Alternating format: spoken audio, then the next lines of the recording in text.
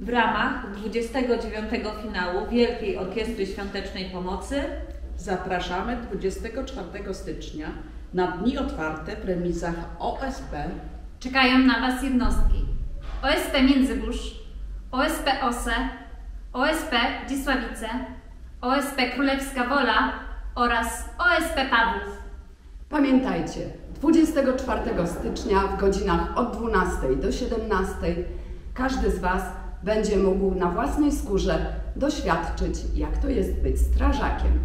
Strażacy razem z Wośpem. My ze strażakami. Czy Wy też będziecie z nami? Serdecznie zapraszamy.